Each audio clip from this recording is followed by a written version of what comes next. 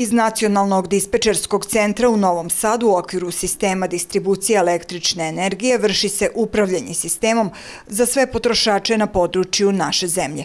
Od izuzetne važnosti je isporuka električne energije ka svim potrošačima, što obezbeđuje stabilan sistem, rekao je prilikom obilaska centra u prostorijama Elektrovojvodine ministar rudarstva i energetike Aleksandar Antić. Sa ovog mesta se vozi sistem i obezbeđuje da imamo jednu apsolutnu sigurnost snabdevanja u čitavoj Srbiji.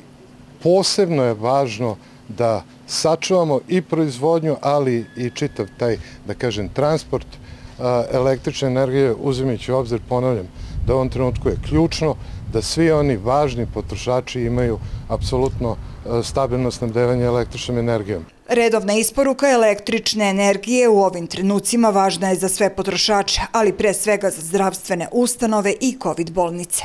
U ovom trenutku proizvodnja i snabdevanje električnom energijom su važni za sve naše potrošače, a posebno za naše zdravstvene ustanove, jer ne smemo da dozvolimo ni jednog trenutka da imamo bilo kakav prekid u snabdevanju.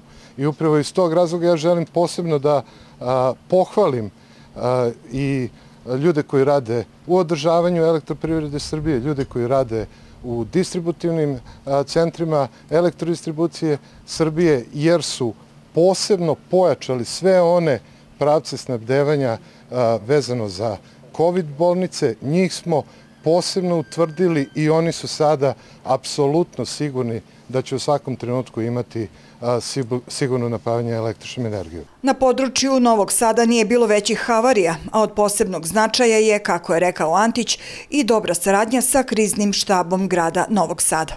Nismo imali ozbiljnijih kvarova, naše dežavne službe zaista u rekordno kratkim rokovima otklanjaju sve nedostatke, imamo izuzetno dobru saradnju i sa gradskim štabom, pre svega sa gradonačelnikom Vučevićem imamo veliku podršku grada Novog Sada kako bi ovaj čitav posao u jednom i u interesu svih građana Srbije, Novog Sada, radili na najbolji i najkvalitetniji način.